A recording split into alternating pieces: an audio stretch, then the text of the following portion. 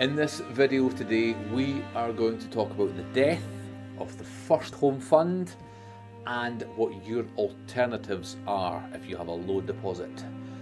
Coming up in just a second.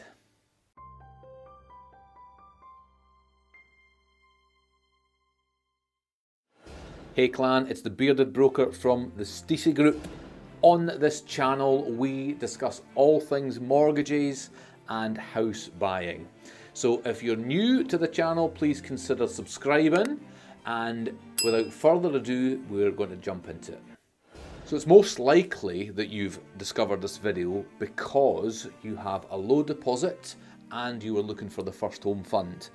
Believe it or not, the first home fund has been used up in the space of eight days. So that's 60 million oversubscribed in the space of eight days. So where does that leave you? There are still some options, I'm sure you will be glad to know. The first one is a 95% mortgage. So who is it for? 95% mortgages are for first time buyers and next time buyers. So there's no real restrictions. At the moment, the government are stepping in and guaranteeing a portion of that mortgage. That doesn't really matter a whole lot to you, but it does benefit you in some ways. So it's available across the UK as a standard 95% mortgage. It's available across the UK as this government backed version mortgage. Really, the main thing that you need to know is if you have a low deposit, then you can still get on the property ladder. Positives is you still only need a 5% deposit. And with the government backed version, is your credit score can be a little bit lower as well. Negatives is there can be a lot of competition for property. So if you're in an area where competition is high and you only have a small deposit, you cannot put in more money than you've already got. Whereas others may have bigger amounts of money to put in. Okay, so number two is the Help to Buy scheme. So you may think that the Help to Buy scheme is non-existent this year. You will be glad to know that as it does still exist, but it exists for the smaller builders only. The main fact about the Help to Buy scheme is it's for new build only and also the government will step in and help you out with up to a 15% deposit.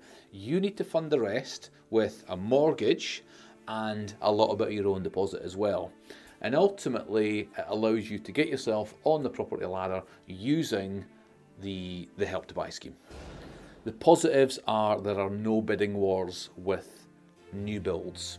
What I mean by that is if you go to a property that is on the open market to buy, you know, a second hand home if you like, then there may be 10 people interested in that property. That can essentially go to a blind bid. Now, with new builds, if you can meet the, the monetary amount that the builder is after, then they'll take that off the market for you, so you're not in a bidding war. The negative really is that the maximum purchase price is £200,000, so you can be limited. Again, the key takeaway for this is that it's a low deposit mortgage and the Help to Buy scheme is still available for the small developers. Number three is the lift scheme. So this is a low cost incentive for first time buyers. The lift scheme, there are two in operation. I will cover the first one, which is the open market lift scheme, and then I'll cover the second one, which is the new supply scheme. The open market lift scheme is available to first time buyers.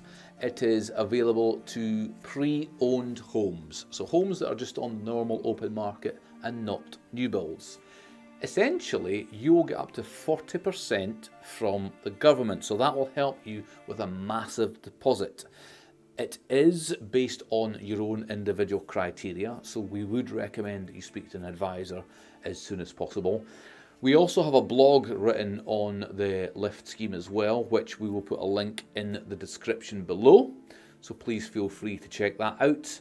And next, we will move on to some positives and negatives.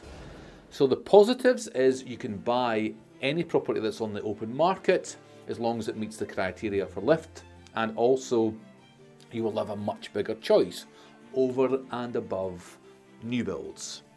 The negatives about the lift scheme is you cannot go over the certain thresholds that are set by the lift scheme. Again, we'll put a link in the description regarding those thresholds, but it's very, very important that you, you begin to understand these. Again, we can help you if you need some, some assistance with that. The last scheme that I'm going to talk about is the new supply lift scheme. It's almost identical to the open market lift scheme. The difference being is it is for new builds and it's in Scotland only. Positives are there again no bidding wars because it's new build. If your offer is accepted, you're not warring against others who are putting in higher bids. It's a simple case of if you meet the criteria and you put in the, the amount that's been requested, then you will be successful. Negatives is the demand can be high and also the stock is very limited as well.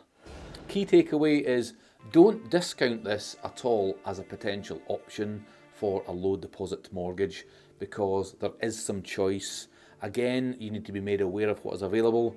So if you need any help, just let us know. So in summary, there are still some options available. If you would like to discuss these more, then please get in touch with us. Our contact details are in the link in the description. And if you found this video useful, please give it a thumbs up, please give it a like, please share it with your friends who you think may be interested and subscribe to the channel. We bring out lots of content quite regularly in terms of mortgages, house buying, the house buying process, and we will put some links to our other videos and we'll mention it in the cards as well. So hopefully you found that useful. And if you have, please get in touch. If you want any more advice, then we're here. So it's Ross Stisi, aka The Bearded Broker, trusted mortgage experts from the Stisi Group. We'll speak soon.